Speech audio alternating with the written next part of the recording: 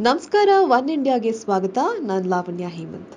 ಹೊಸಕೋಟೆ ಕ್ಷೇತ್ರದ ಪಕ್ಷೇತರ ಶಾಸಕ ಶರತ್ ಬಚ್ಚೇಗೌಡ ಅವರು ಕಾಂಗ್ರೆಸ್ ಸೇರ್ತಾರೆ ಅನ್ನೋದು ಸುದ್ದಿನೋ, ವದಂತಿನೋ ಗೊತ್ತಿಲ್ಲ. ಆದ್ರೆ ಅದು ಇವತ್ತು ನೆನ್ನೆದಂತೂ ಖಂಡಿತ ಅಲ್ಲ.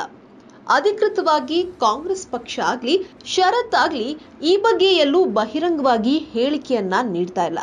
ವಿಧಾನಮಂಡಲದ ಹಾಲಿ ಬಜೆಟ್ ಅಧಿವೇಶನದಲ್ಲಿ ಶರತ್ ತಮ್ಮ ಒಂದು ಕಾಲನ್ನ ಕಾಂಗ್ರೆಸ್ನಲ್ಲಿ ಇಟ್ಟಿರೋದು ಹೌದು ಅನ್ನೋದಕ್ಕೆ ಪೂರಕ ಎನ್ನುವಂತೆ ವಿದ್ಯಮಾನವೊಂದು ನಡೆದಿದೆ.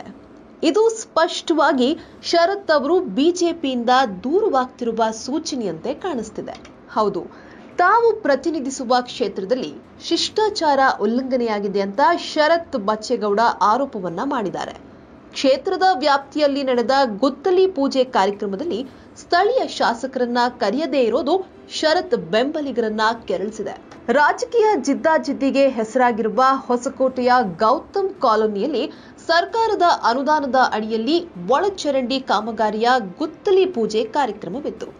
ಸಚಿವ ಎಂಟಿಬಿ ನಾಗರಾಜ್ ಕಾರ್ಯಕ್ರಮಕ್ಕೆ ಆಗಮಿಸುತ್ತಿದ್ದಂತೆ ಶರತ್ ಬೆಂಬಲಿಗರು ಪ್ರತಿಭಟನೆ ನಡೆಸೋಕೆ ಆರಂಭಿಸಿ ಹೆದ್ದಾರಿ ತಡೆಯನ್ನ ಮಾಡಿದ್ದಾರೆ. ಇದಕ್ಕಾಗಿ ಶರತ್ ಸೇರಿದಂತೆ ಹದಿನೆಂಟು ಜನರ ವಿರುದ್ಧ ಎಫ್ಐಆರ್ ಕೂಡ ದಾಖಲಾಗಿದೆ.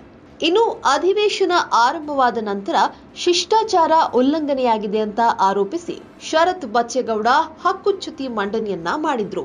ಇದಕ್ಕೆ ಸ್ವತಃ ಸ್ಪೀಕರ್ ಕಾಗೇರಿಯವರು ಅವಕಾಶವನ್ನ ನೀಡಿದ್ರು. ಈ ಬಗ್ಗೆ ಸದನದಲ್ಲಿ ಮಾತನಾಡಿದಂತಹ ಶರತ್ ಸ್ಥಳೀಯ ಪೊಲೀಸರು ಮತ್ತು ನಗರಸಭೆಯ ಆಯುಕ್ತರನ್ನ ತರಾಟೆಗೆ ತೆಗೆದುಕೊಂಡಿದ್ದಾರೆ. ಇದೇ ಸಂದರ್ಭದಲ್ಲಿ ಶರತ್ ಬೆಂಬಲಕ್ಕೆ ಕಾಂಗ್ರೆಸ್ ಶಾಸಕರು ನಿಂತರು. ಪ್ರಮುಖವಾಗಿ ಕೆಪಿಸಿಸಿ ಅಧ್ಯಕ್ಷ ಡಿಕೆ ಶಿವಕುಮಾರ್ ಮತ್ತು ಕೃಷ್ಣ ಬೈರೇಗೌಡ ಅವರು ಸರ್ಕಾರದ ವಿರುದ್ಧ ಕಿಡಿಕಾರುತ್ತಾ ಸದನದ ಬಾವಿಗೆ ಇಳಿದ್ಬಿಟ್ರು. ಆಗ ಕಾಂಗ್ರೆಸ್ಸಿನ ಇತರ ಶಾಸಕರು ಕೂಡ ಶರತ್ ಪರವಾಗಿ ನಿಂತರು. ಇನ್ನು ಇವೆಲ್ಲವನ್ನ ಗಮನದಲ್ಲಿ ಇಟ್ಕೊಂಡಿದ್ದಂತಹ ಶರತ್ ಅವರು ತಮ್ಮ ಆಕ್ರೋಶವನ್ನ ವ್ಯಕ್ತಪಡಿಸಿದ್ದು ಹೀಗೆ. ಅಧಿಕಾರ ಅನ್ನೋದು ಯಾರಿಗೂ ಶಾಶ್ವತವಲ್ಲ. ಇವತ್ತು ಇಲ್ಲಿ ಕೂತಿರೋರು ನಾಳೆ ಅಲ್ಲಿ ಕೂರಬಹುದು. ಇವತ್ತು ಅಲ್ಲಿ ಕೂತವರು ನಾಳೆ ಇಲ್ಲಿ ಕೂರಬಹುದು.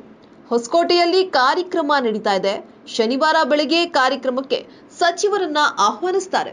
ಈ ಎಲ್ಲ ಕೆಲಸವನ್ನ ನಗರಸಭೆಯ ಆಯುಕ್ತರೇ ಮಾಡ್ತಾರೆ. ಸ್ಥಳೀಯ ಶಾಸಕರಿಗೆ ಆಹ್ವಾನ ಕೊಡುವಷ್ಟು ಸೌಜನ್ಯವಿಲ್ವಾ ಇವರಿಗೆ?